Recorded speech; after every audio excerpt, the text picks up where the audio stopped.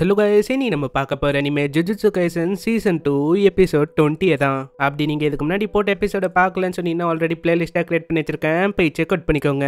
மறக்காம கீழே லைக் பண்ணுறேன் நீங்கள் இப்போ தான் நம்ம சேனலுக்கே வரீங்கன்னு சொன்னீங்கன்னா சப்ஸ்கிரைப் பண்ணி பெல் லைக்னு அழுத்தி வச்சுக்கோங்க.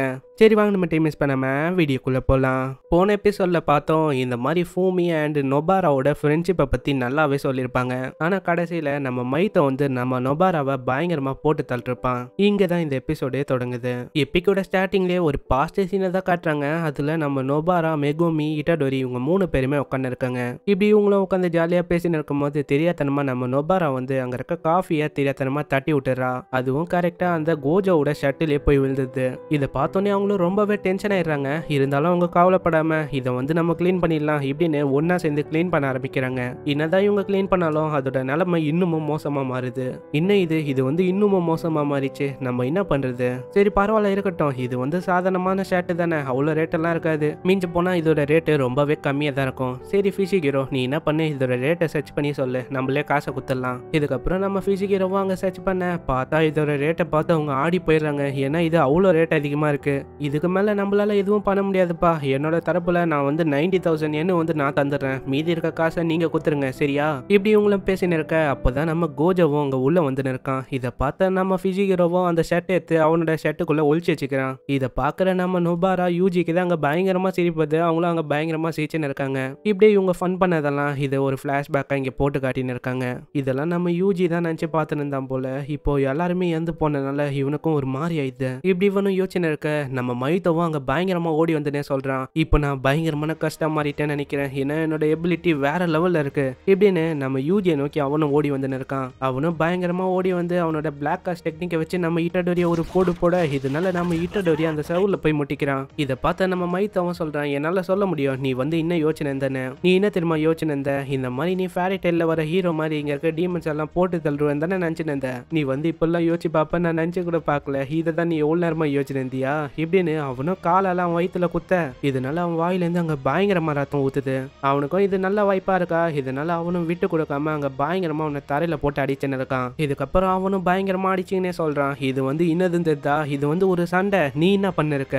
இந்த சண்டையில நம்ம வந்து நம்மளோட தப்பையே நினைச்சுன்னு இருக்க கூடாது நம்ம வந்து நம்மளோட பிளானை மத்தவங்க மேல எக்ஸிக்யூட் பண்ணோம். அதுதான் இந்த சண்டையே. ஹே இட்டடோரி எப்படி பார்த்தாலும் நீயும் நானும் ஒரே மாதிரி தான் நான் வந்து மத்தவங்கள யோசிக்காம கொல்லுவேன். அதே மாதிரி நீ மத்தவங்கள யோசிக்காம காப்பாத்துவ. நம்மளோட இன்ஸ்டிங்ஸ் ஹியூமனை கம்பேர் பண்ணா ரொம்பவே டிஃப்ரெண்டா இருக்கு. இந்த சண்டை எதுக்கு தெரியுமா? இந்த சண்டையில தான் டிசைட் ஆக போகுது. இந்த மாதிரி அடுத்த நூறு வருஷத்துக்கு யார் வாழ போறான்னு.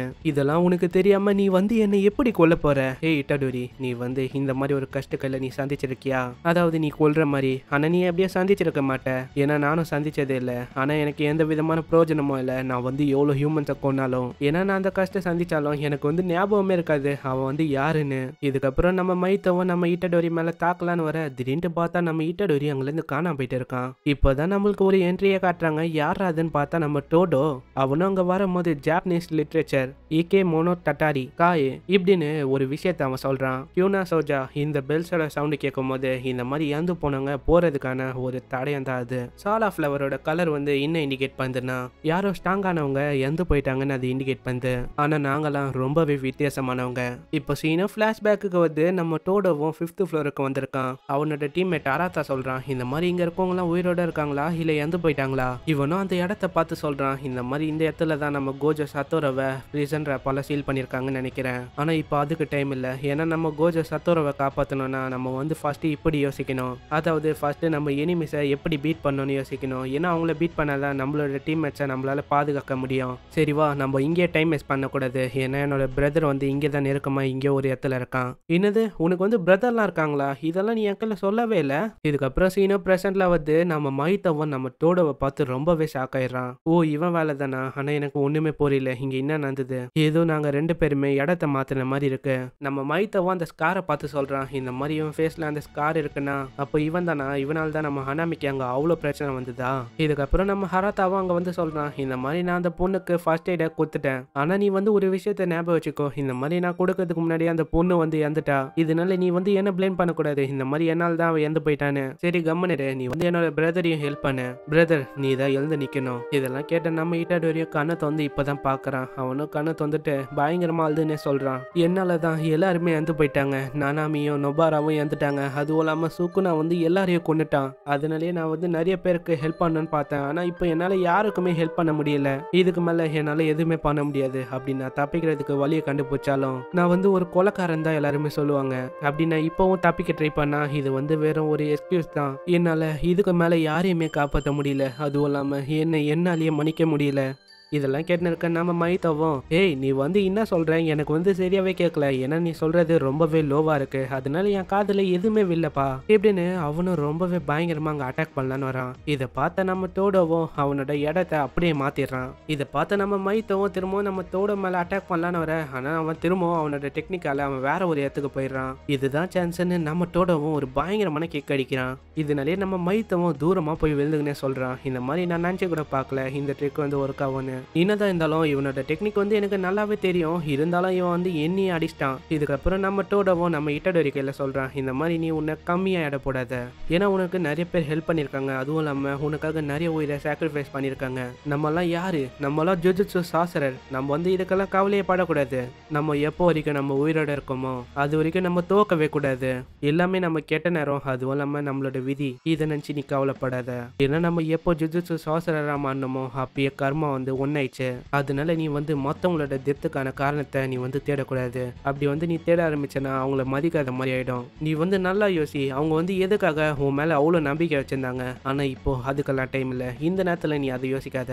ஆனா இதுக்கான சொல்யூஷன் உனக்கு கண்டிப்பா கிடைக்கும். ஆனா இப்போ இல்லை ஒரு நாள் கண்டிப்பா கிடைக்கும். எல்லாருமே அவங்களோட வாழ்க்கையில ஏதாச்சும் ஒரு தப்பு பண்ணுவாங்க. அதுக்கான பலன் தான் இது. இதுக்கப்புறம் நம்ம டோடோவும் சொல்றான் இந்த மாதிரி இவன் கையில மற்ற விஷயத்தெல்லாம் சொல்றது நல்லது இல்லை. இந்த சைடு நம்ம அராத்தாவும் நம்ம யூஜிக்கு அங்க அவனோட கஸ்ட் டெக்னிக்கை வச்சு அங்கே ஹீல் பண்ணிருக்கான். என்னோட கஸ்ட் டெக்னிக் இதை வச்சு இப்போதைக்கு உன்னோட இன்ஜுரிஸ் எல்லாத்தையும் சரி பண்ண முடியும். அதாவது வெளிப்புறத்தில் இருக்க காயத்தெல்லாம் என்னால் ஹீல் பண்ண முடியும். அதாவது இப்போதைக்கு நீ அடி வாங்காம இருக்கணும். ஏன்னா நீ திரும்பவும் சண்டை போட்டு திரும்பவும் உனக்கு அடிபட்டதுன்னா அந்த அடிப்பட்ட இடத்துல இந்த டெக்னிக் வந்து ஒர்க் ஆகாது. இதுக்கப்புறம் அவனும் நம்ம யூஜியை பார்த்து யோசிக்கிறான். இந்த மாதிரி நம்ம டோடோட பிரதர் பார்த்தா அவனை மாதிரி இல்லவே இல்லையே. சரி இருக்கட்டும். அங்க ஒரு பொண்ணு இருக்கால அவளையும் நான் உன்ன மாதிரி தான் ஹீல் பண்ணியிருக்கேன். அவளோட மூச்சு வந்து ஆல்ரெடி நின்றுச்சு இருந்தாலும் என்னால் இப்போதைக்கு ஹெல்ப் பண்ண முடியும். ஏன்னா இப்போதான் அவளோட மூச்சு நின்று இருக்கு அதனால நான் வந்து அவளை இங்கிலேருந்து எடுத்துன்னு போறேன். அதுக்குன்னு நீ நிறைய நம்பிக்கை வச்சிடாத. இதுக்கப்புறம் நம்ம டோடோவையும் நம்ம மைத்தவையும் தான் காட்டுறாங்க. நம்ம டோடோவும் அங்கே சண்டை போட ஆரம்பிக்கிறான். அவனும் ஒரு பயங்கரமான கிக் அடிக்க இதனால நம்ம மைத்தவும் அந்த சவுல போய் வச்சுக்கிறான் இருந்தாலும் நம்ம மைத்தை வந்து அங்கே வீட்டுக்குள்ள கொடுக்காம திரும்ப திரும்ப அட்டாக் பண்றான். இதை பார்த்து நம்ம டோடோவும் அங்கேருந்து தப்பிச்சு வேற ஒரு இடத்துக்கு போயிடுறான். ஆனா அவன் திரும்பவும் அட்டாக் பண்ணும்போது நம்ம டோடோவும் அங்கே அட்டாக் பண்ண ஆனா நம்ம மைத்தை வந்து அவனோட ஷேப்பையே மாத்திடுறான். இதனாலேயே நம்ம டோடவும் திரும்ப அவனோட டெக்னிக் யூஸ் பண்ண இதனால அவன் திரும்பவும் வேற ஒரு இடத்துக்கு போயிடுறான்.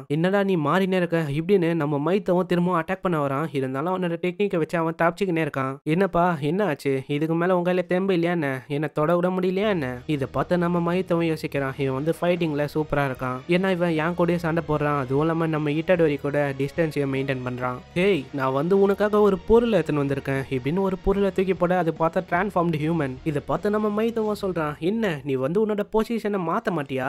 ஏன்னா நீ மாத்துறதுக்கு தான் நான் வெயிட் பண்றேன்னு ஏன்னா உன்னோட மூவ்ஸ் எல்லாம் எனக்கு தெரியுது. நான் வந்து ஆவலா இருக்கேன். இந்த மாதிரி அந்த டெக்னிக்கை ஓ மேல யூஸ் பண்ணோன்னு. ஏன்னா அந்த டெக்னிக்கை நான் திரும்பவும் யூஸ் பண்ணணும்னு நான் ரொம்பவே ஆவலா இருக்கேன். என்னால நல்லாவே உணர முடியுது. இந்த மாதிரி நான் சோலுக்கு ரொம்பவே நெருக்கமா இருக்கேன். இன்னமும் ஒரே ஒரு ஸ்டெப் தான். இதுக்கப்புறம் அவனும் அவனோட டெக்னிக்கை யூஸ் பண்ண அங்க பார்த்தா நம்ம இட்டடேரி வந்துடுறான். அவனும் அங்க அவனோட காஸ்ட் எனர்ஜி அங்க ஏத்தின்னு இருக்கான். என்னை மன்னிச்சிரு நனாமி. நான் வந்து இது வரைக்கும் ஒரு ஈஸியான வழியை தான் நான் தேர்ந்தெடுக்க ட்ரை பண்ணேன் ஏன்னா அதனால எனக்கு ஒரு எக்ஸ்கியூஸ் கிடைக்கும். அதை தான் நான் இது வரைக்கும் தேடி நின்றேன் இப்படி இவனும் சொல்ல இருக்க திடீர்னு நம்ம மைத்தவும் அவனோட பிளாக் ஃபிளாஷ் அட்டாக்க அவன் மேல தாக்கிடுறான். நனாமி இந்த மாதிரி உன்னோட பாதையில இனிமே நான் டிராவல் பண்ணலான்னு இருக்கேன். இப்படின்னு அவனும் தாக்க இதனால நம்ம மைத்தவும் ரொம்பவே தூரமா போய் விழுறான். அவனும் விழும்போதே சொல்றான் நீ வந்து இன்னமும் உயிரோட தான் இருக்கியா? இதுக்கப்புறம் நம்ம டோடோவும் யூஜியும் அவங்க ஒன்னா நின்று அட்டாக் பண்ணலான்னு நின்று இருக்காங்க. நெக்ஸ்ட் சைன்ல நம்ம மீவா கிட்ட நம்ம மெக்கமாரு பேசின்னு இருக்கான். இந்த மாதிரி நீ வந்து அங்க போக கூடாது ஏன்னா ஷிபுயால எல்லாமே முடிவுக்கு வரப்போகுது. அதனால நீ இங்கிருந்து போறது ரொம்பவே நல்லதா இருக்கும். ஆனா நீ எதுக்கு வெறும் டோடோவும் அராத்தாவையும் அங்க அமுச்சு வச்ச?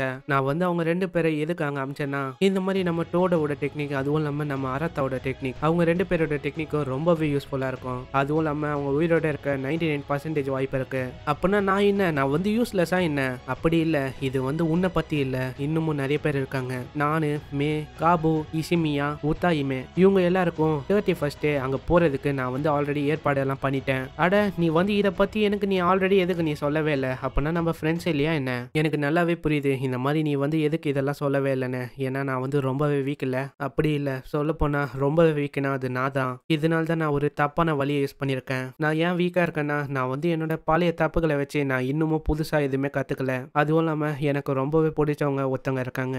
எனக்கு வந்து அவங்கள ரொம்பவே பிடிக்கும். என்னதான் உலகமே மாறி இருந்தாலும் நான் வந்து அவங்க சைட்லேருந்து அவங்களுக்காக ப்ரொடெக்ட் பண்ணால் அவங்க வந்து சேஃபாக இருப்பாங்க. அதுவும் இல்லாமல் அவங்க வந்து இதை நினைச்சே கூட பார்த்துருக்க மாட்டாங்க. இதெல்லாம் கேட்டு இருக்க நம்ம மீவாவும் அங்கே பயங்கரமாக அழுதுன்னு இருக்கா? இப்போ வந்து டைம் வந்துச்சு. நான் வந்து போகிறதுக்கான டைம் எப்படின்னு அவனும் போலான்னு இருப்பானா? ஆனா நம்ம மீவா வந்து அங்க போவாதுன்னு தடுக்கிறா. ஹேய் நீ வந்து அழுவாத. உன்னால இதை எப்படி பண்ண முடியும்னு எனக்கு சரியா தெரியல. ஆனா நீ எப்போ இருக்க சந்தோஷமா இருக்கியோ நான் வந்து ரொம்பவே சந்தோஷமா இருப்பேன். ஏன்னா நீ வந்து சந்தோஷமா இருந்தா என்னோட விஷயம் நினைவான மாதிரி இருக்கும் எனக்கு. இதெல்லாம் கேட்ட நம்ம மீவாவும் அங்க கத்தி கத்தி அழுவ ஆரம்பிக்கிறா. இந்த சைடு நம்ம மாய் வந்து சொல்றா இந்த மாதிரி எல்லாமே நம்ம மெக்காமரு பண்ணால போதும் நிறுத்து. அவன் வந்து ஆல்ரெடி இறந்து போயிட்டான். அவன் வந்து உண்மையாவே நம்ம எல்லாருமே வீக்குன்னு நினைச்சுன்னு தான் அவன் என்ன சொன்னானா நம்ம டோட வந்து இறந்து போக மாட்டானா. ஆனா நம்ம போனா நம்ம வந்து இறந்து போயிடுவோமா? ஆனா இதுல எனக்கு எந்த விதமான பிரயோஜனமும் இல்ல.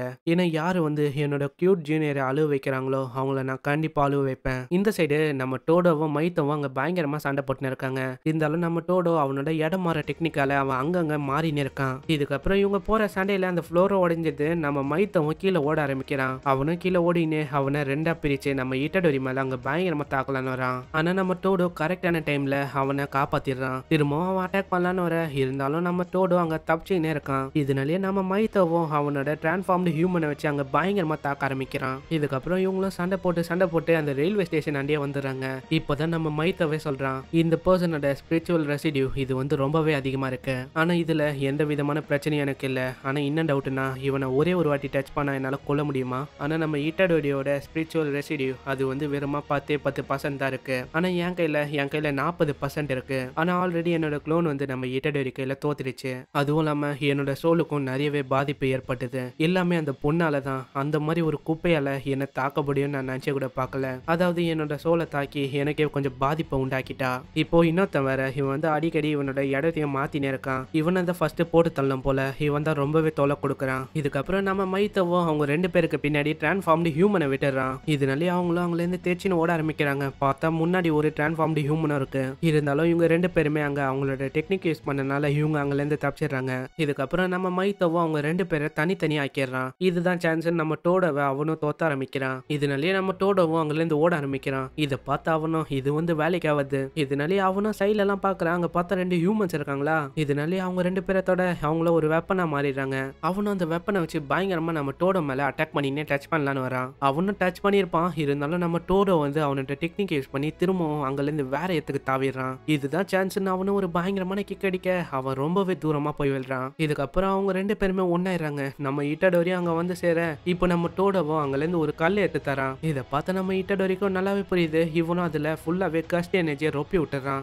அவனும் இதை நம்ம டோடோ மேல தூக்கி போட இதை பார்த்து நம்ம டோடவும் சொல்றான் நீ வந்து இதுலயே நீ சாட்டிஸ்ஃபை ஆயிடுவேனா? அப்படின்னா என்ன மன்னிச்சிரு. நம்மளால இதுக்கு மேல பெஸ்ட் ஃப்ரெண்ட்ஸா இருக்க முடியாது. ஏன்னா இந்த கஷ்ட எனர்ஜி வந்து இப்போ பிளாக் ஃபிளாஷா யூஸ் பண்ண கத்துக்குச்சு. இப்போ யார் தெரியுமா பின்னாடி இருக்கா? இப்போ நான் தான். அதனால என்ன மன்னிச்சிரு பிரதர் அதனால நீ சொல்லு. ஆயோ டோடோ உன்னால உன்னோட ஸ்டேட்டஸை இப்படியே மெயின்டைன் பண்ண முடியுமா? இல்லைன்னா திரும்பவும் நீ இட்டடோரிய அப்படியே நீ தனியாக விட்டுருவியா? இதுக்கப்புறம் இப்போதான் நம்மளே பார்க்குறோம். நம்ம டோடோ வந்து அவனோட மொத்த கஷ்ட எனர்ஜியை ஒட்டு மொத்தமாக சேர்க்குறான். அவனும் எல்லாத்தையும் சேர்த்துட்டு டக்கடாவை யோசிச்சுட்டு அவனும் பிளாக் ஃபிளாஷ் அட்டாக்கை அங்கே லான்ச் பண்ணுறான் ஆனால் இவன் என்னதான் அட்டாக் பண்ணாலும் நம்ம மைத்தோக்கு அங்கே ஒன்றுமே ஆகல. இப்போதான் நம்ம மைத்தவே சொல்கிறான் இந்த மாதிரி நீ எந்த விதமான அட்டாக்கை வேணா பண்ண. எனக்கு எந்த விதமான பிரயோஜனமும் இல்லை. ஏன்னா நீ எவ்வளோ ஸ்ட்ராங்காக வேணா அட்டாக் பண்ண. இல்லைன்னா நீ பிளாக் ஃபிளாஷ் அட்டாக்கை எத்தனை வாட்டி வேணா யூஸ் பண்ண. இருந்தாலும் எனக்கு வந்து எதுவுமே ஆகாது. இருந்தாலும் நீங்கள் வந்து என்னோட சோலை அழிக்கிற வரைக்கும் எனக்கு இதெல்லாம் ஒன்றுமே இல்லை. ஏன்னா இந்த டெக்னிக் எல்லாமே யூஸ்லெஸ் தான் என் முன்னாடி. இப்போதான் ஒரு விஷயத்தையே சொல்கிறாங்க இந்த மாதிரி இவங்க மூணு பேருமே அவங்களோட ஒன் டுவெண்ட்டி பர்சன்டேஜுக்கு வந்துட்டாங்க. இதுக்கப்புறம் நம்ம மைத்தவும் அவனோட டிரான்ஸ்ஃபார்ம்டு ஹியூமன்ஸ் மொத்த அட்டாக்கையும் அவங்க இறக்கி வர்றான் இவன் வந்து இதே மாதிரி ஃபுல் ரேஞ்சுக்கு அட்டாக் பண்ணிருந்தா என்னால் எதுவும் பண்ண முடியாது. ஏன்னா நான் என்னதான் இடத்த சேஞ்ச் பண்ணாலும் இந்த அட்டாக் வந்து எல்லா இடத்துலையும் பரவி இருக்கு. அப்போனா என்ன? இவன் வந்து சீரியஸ் ஆகுறானா என்ன? இதனாலே இவங்க கையிலயும் வேற வழியே இல்லையா? இதனால அவங்களும் அண்டர் கிரவுண்டை விட்டு மேலே வந்துடுறாங்க. இப்போ நம்ம மைத்தவங்க அங்க கத்தி கத்தி சொல்றான் ஹே இட்டடோரி இன்னமும் ஃபோர்ஸ் கொடுறா.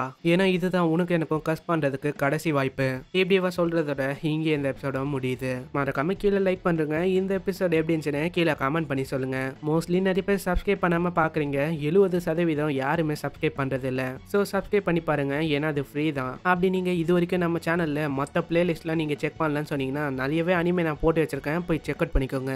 இல்லைன்னா சைட்லேயே ரெண்டு அனிமையோட பிளேலிஸ்ட் வரும். போய் செக் அவுட் சப்போர்ட் பண்ணிக்கோங்க. இவங்க இந்த வீடியோ தினமும் முடிச்சதுனால நானும் இந்த வீடியோவை இங்கேயே முடிச்சுக்கிறேன். உங்களை நான் அடுத்த எபிசோட்ல சந்திக்கிறேன். அது வரைக்கும் சைனரா?